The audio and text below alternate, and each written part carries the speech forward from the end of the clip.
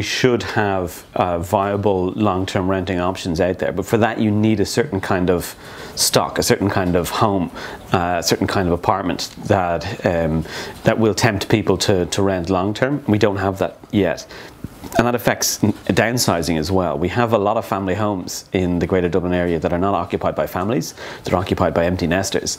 But the empty nesters don't have anything to downsize into that they'd be proud to call their next home. Um, so that's, uh, that's certainly a challenge.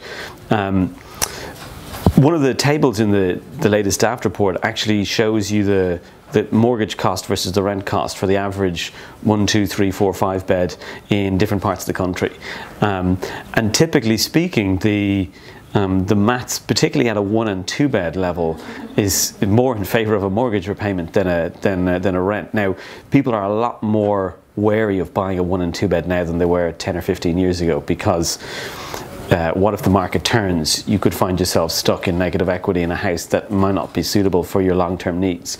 So that might be part of the reason why the, the mortgage is so much cheaper than the rent for one and two beds. As you move up into four and five beds, typically the math swings actually, and, and, and if you look at the mortgage repayment versus the, the rent repayment, um, probably on a par, and in some cases the mortgage repayment will be above the, the, the rent, the monthly rent. Um, but when you're talking about four and five bed um, homes, there you are typically talking about people putting down roots for 10, 15 plus years. And in that case, if you fast forward to 15 years down the line, having paid 15 years of a mortgage and 15 years of rent, you're in a very different position. In one case, you, you know, half own a house, and in one case, you don't. So there may be justifiable reasons why people are prepared to pay more to, to buy than, than rent.